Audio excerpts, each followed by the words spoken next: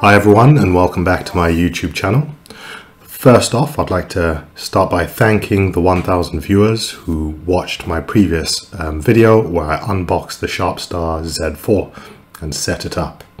In this video, I'd like to share my results from first light, um, but before I do that, I'd just like to run through the final configuration before I got to first light.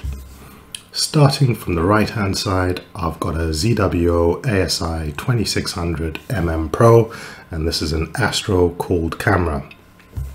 I then have some 3D printed parts attached to the camera to help the cables stay down the bottom and ensure I don't get any cables snagging.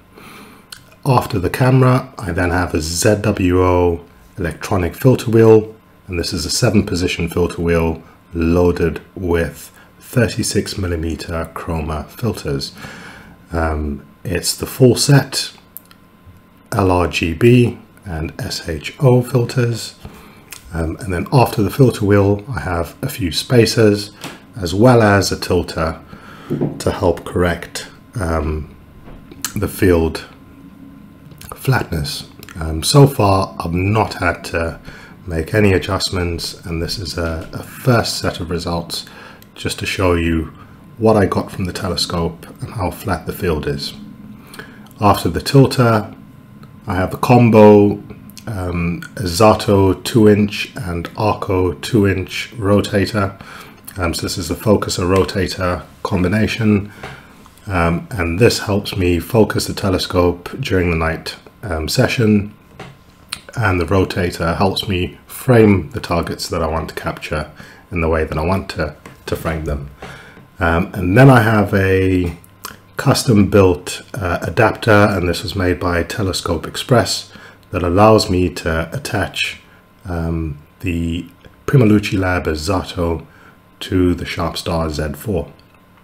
Everything else is the same from my previous video apart from the bottom Losmandy dovetail plate.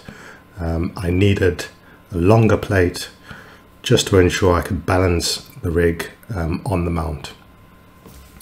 Um, I will run through how I capture flats using the Giotto or Giotto um, flat field generator from PrimaLuce Lab, but in this video, really just want to take the opportunity to show you what this small telescope in relative terms is capable of.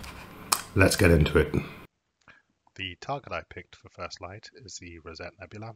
Uh, before I start to process uh, my images, I like to go through each individual sub just to see what's actually going on. Um, on this target, I shot um, HA03 and S2, um, three minutes each, and I shot a sequence of 12 images um, in HA03 and S2, and then shot 30 seconds um, for red, green and blue and captured 20 of each in that channel. Okay, so now I'm in Astro Pixel Processor and here I'm just showing the fact that I've got 96 lights um, and the calibration frames, so darks, flats and bias frames. Um, at this stage I've already um, stacked the images and I'll now cross over into PixInsight, um, forward time and um, show you what results I got.